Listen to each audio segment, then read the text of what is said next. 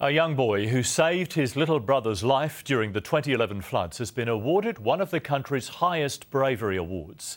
Jordan Rice's proud father accepted the award on his behalf at a ceremony at Government House. They were the images that summed up the terror of the 2011 floods.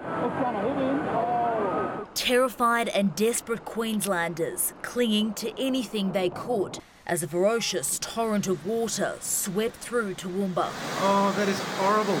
Oh, But amidst the horror and shock, schoolboy Jordan Rice, trapped on the roof of his family's car, the teenager who couldn't swim, begged rescuers to take his little brother first. That selfless decision cost Jordan his life, and today his father accepted one of the country's highest bravery awards on his behalf. It wasn't a case of um, thinking about it, it was just a case of reacting. And, and look, I'm very proud, you know, like of what he did. Two years ago, Jordan was rejected for a bravery award, so John started an online petition.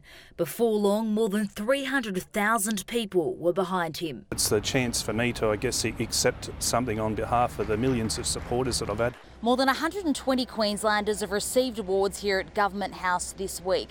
Some have waited many years for this well deserved recognition like the three police officers shot by Nigel Parodi as they sat in their patrol cars at Chermside 16 years ago, and their brave colleague who was first on scene. He put his own safety aside to risk his life to get to me, Chris, and Sharnelle. I'd do it again tomorrow. Also honoured today, the three officers who rescued an elderly woman during the Bundaberg floods in 2013. Any couple would have done the same thing.